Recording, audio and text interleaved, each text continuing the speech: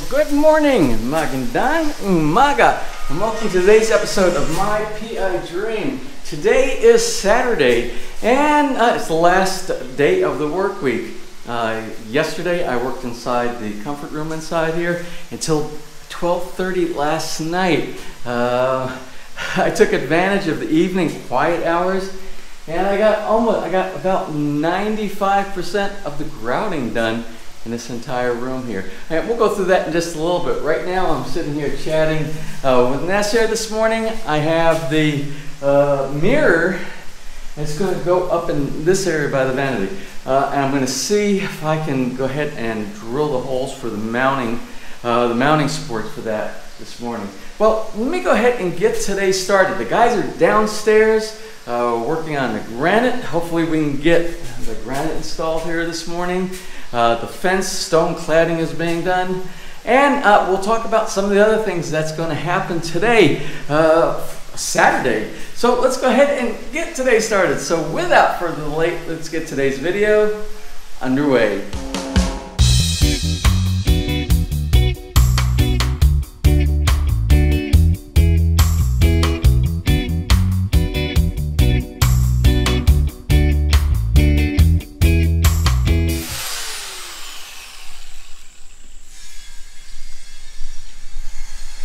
As you can hear the sounds of uh, construction going on in the background, a lot of things going. It is a beautiful, beautiful morning here this morning in the Philippines.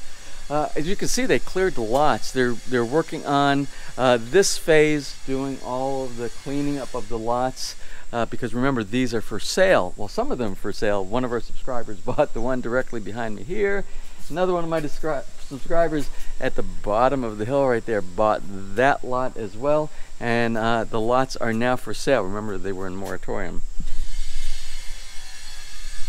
And that, you know what that means? That means that means please scratch my belly. That is that. that is his motion. So anyway, this morning, like I said, I am working inside the uh, the bath area right here. Uh, last night, I, I explained to you earlier, I worked in here until, oh, I worked in here until about 12.30 at night.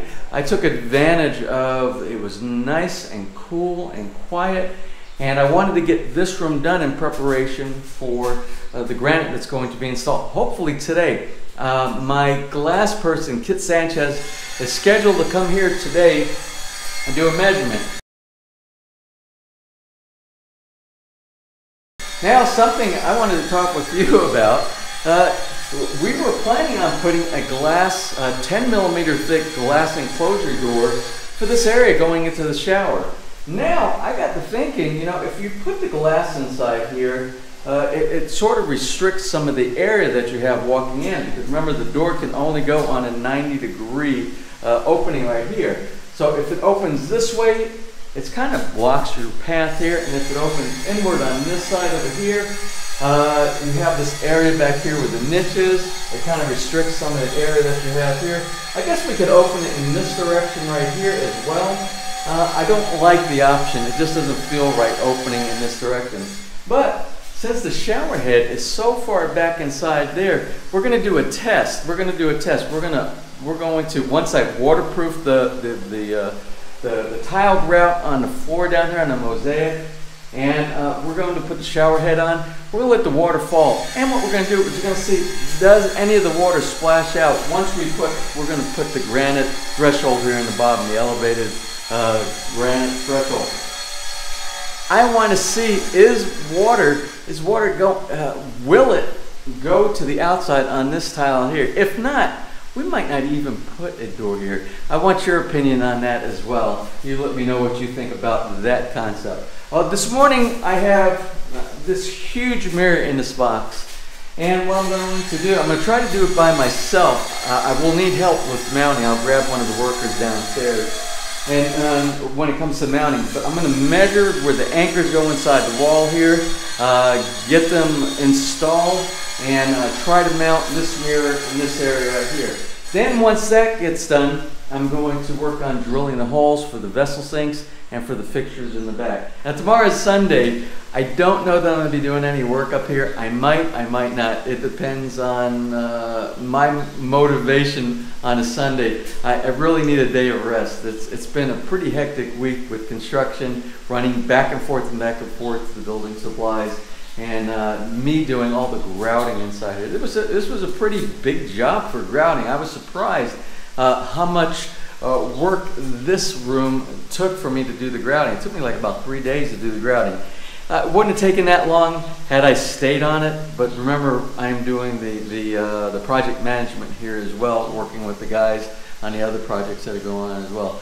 So uh, let me go ahead and do the work here with the mirror. Let me see if I can get it installed. I'm really anxious to see what it looks like. So let me go ahead and get started with that.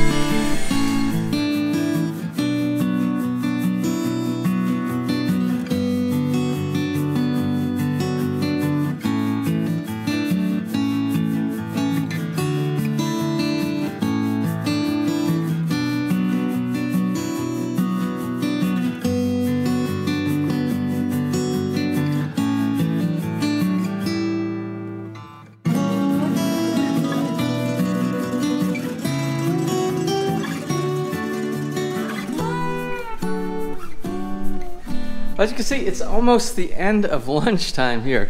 Uh, I want to give you a quick overview on what I've been working on this morning inside the, uh, the washroom, the bathroom up on the second floor, as well as we'll do an update real quick on what the guys are doing, where they're at on the tiling, the stone cladding on the fence, as well as the granite, the guy that's working on the granite. Well, anyway, I kind of tore everything apart and it's semi kind of put back together. So in here, I'm working on the sink. Let me show you the sink and what I'm doing as far as cutting holes inside the granite. So this sink is not installed right here. This sink is just sitting here. I have it marked uh, with my little X marks the spot where I'm going to be drilling the hole in the granite for the for the plumbing to go underneath it. And I also did the same thing for the uh, the, the faucet fixture there as well. This one I already cut the hole. You see the hole is already done. I used my little diamond blade hole cutter right there. And I have another one that I'm going to be cutting the hole here for the fixture. Now, I have to admit, uh, I, I, I, made a mistake. I didn't think this out very well. When I designed the vanity here for the sinks and the faucet fixtures inside, uh, I assumed in my mind that the vessel sink was going to be here and directly behind it was going to be the, the water fixture. Uh, well, now, what I found out is the, the depth, the depth of the granite right here is not deep enough to put the fixture, uh, this fixture right here, directly behind it. Now, you probably could, but it wouldn't, it wouldn't look right. It'd be too close to the mirror and the wall.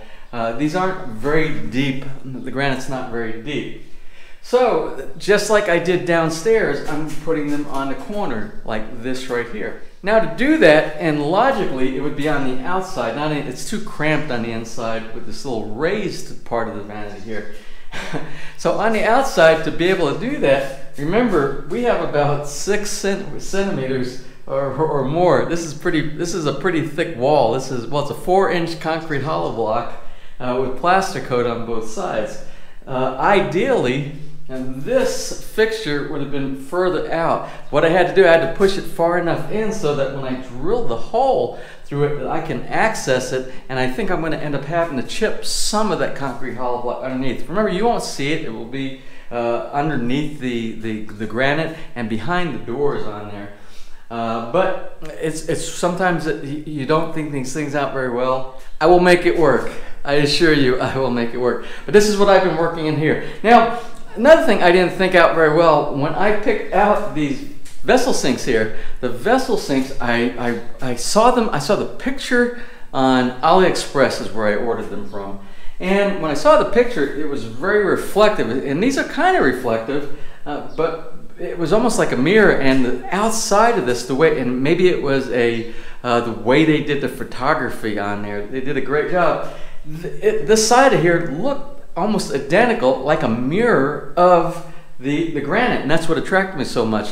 But I didn't think about it that all of our accessories that we're putting inside all of our bathrooms here, uh, the comfort rooms, they're all oil-rubbed bronze or antique. And I have, I have antique here, and I have this, this kind of silvery, mirrory kind of thing. This is, it, doesn't really look Tuscan or Mediterranean so much. I don't know, maybe it'll be okay. I asked Nessa and Nessa said, she said it's okay. But a good thing about vessel sinks is you can replace them. Because remember, down here, all you have is a, a bead of silicone inside there. And then at, at any point, you can replace them with something else that you like. Uh, mm, not really good planning on my part.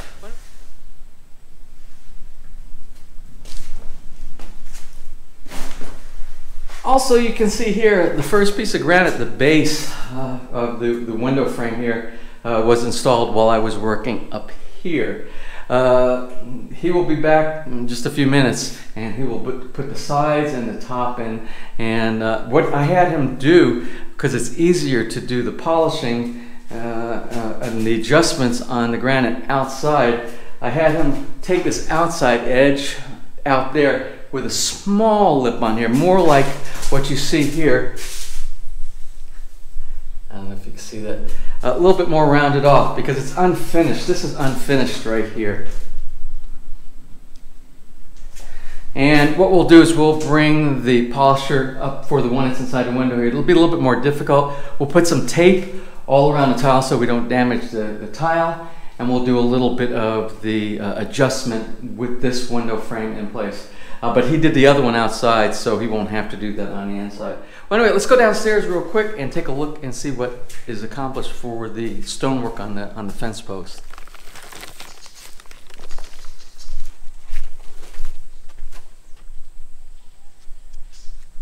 So as you can see, coming along nicely out here, uh, uh, the, this section of the entranceway into uh, the walkway, the path going into the house, uh, it's almost uh, it's almost all done here for this. And he, he did the notch out for the doorbell that we have over here. And the lights is doing fine around the lights.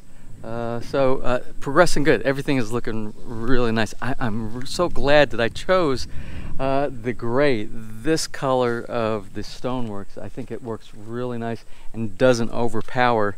It doesn't overpower the the colors of the house.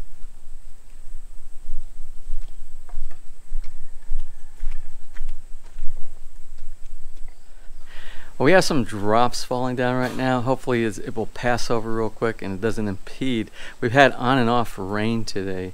Uh, well, anyway, I need to get back upstairs. I need to continue working on the vessel sinks and the fixtures up on the second floor. Well, let me give you a little tip of the day. If you don't don't be intimidated by working with granite. Uh, remember, I showed you a little bit about the polishing, uh, cutting with a with a, uh, a grinder or with a if you have a big enough uh, tile cutter you can actually cut smaller sections of granite with that as well. Uh, and cutting holes is really not that difficult. The, th the main thing when you cut a hole in your granite using a diamond tip uh, saw hole cutter make sure you start at a 45 degree angle. And I'll kind of give you an example what I'm talking about So now don't be intimidated about cutting a circle hole inside your granite. Just take a, a few precautions and a few uh, tips that we're going to go across today and then you'll be able to cut a nice clean hole inside your granite without doing damage to your surface itself. So first off you're going to start out, you're going to put some tape down and you're going to mark out a template where you want to cut. Now when we cut, we are going to start out at about a 40-45 degree angle here and we're going to run the, run the drill a little bit slow and we're going to establish a little groove. As, the, as it starts going down just a little bit, what we're going to do is we are going to slowly move it over uh, to get it perpendicular to the plane of the granite. Uh, the reason you're doing that, if you were to start out like this and you try to drill right through like this, your blade is going to go like this and probably do some damage to your, your granite top. If you do it on the side, and you dig in at the 45 and then come over, you've established uh, your pattern going down through the granite. So let's also, as you're going through the granite with the drill, what you want to do is you want to keep putting water inside there. That will extend the life of your drill bit uh, and uh, make a nice clean cut inside your granite top.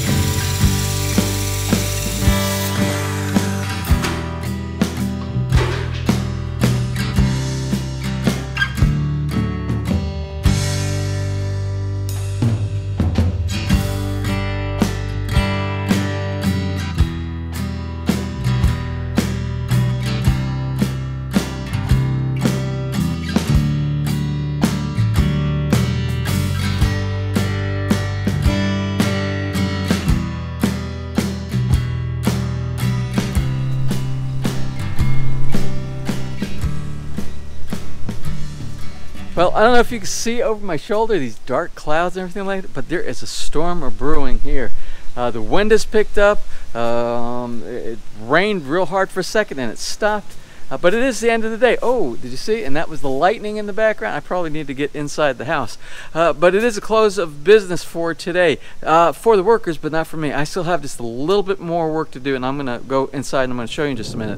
I have some guests coming over tonight. I have Jesse. Remember Jesse from the barbecue last week? Jesse and my friend, uh, my German friend, Henry. Remember him as well from previous episodes. They're coming over. Now, we were supposed to be sitting back here on the patio down here and enjoying a Saturday evening. I don't know if we're going to be able to do that. If not, we'll retreat into the sunroom.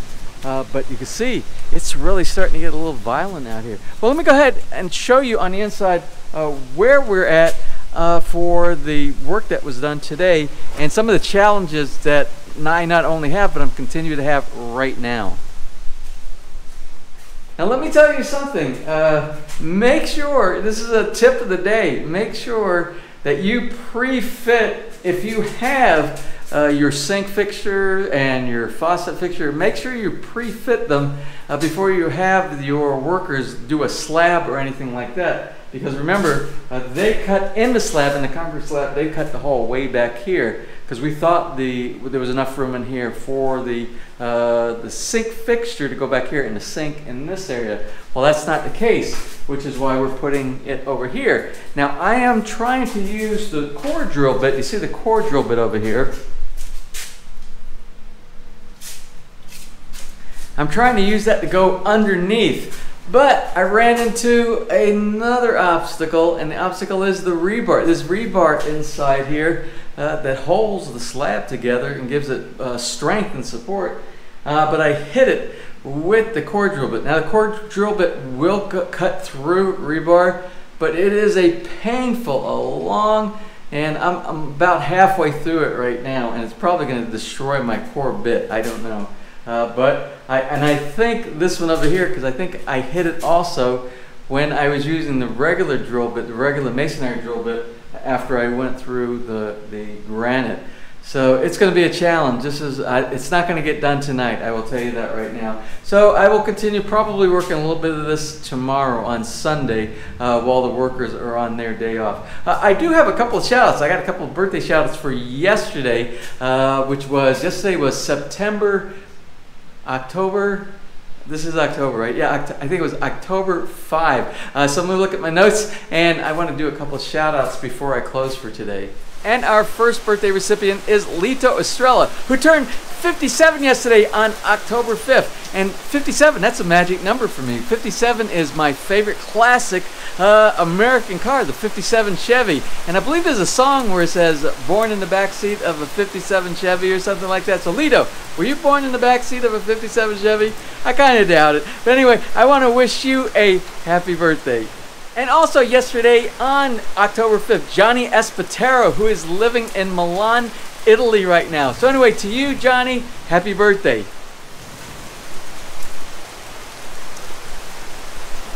Well, I'm going to close from the front porch of the house right now. I still got to go upstairs. I got some more drilling to do, and and uh, then I got to go get a shower, and I'm going to be entertaining our guest in uh, about an hour.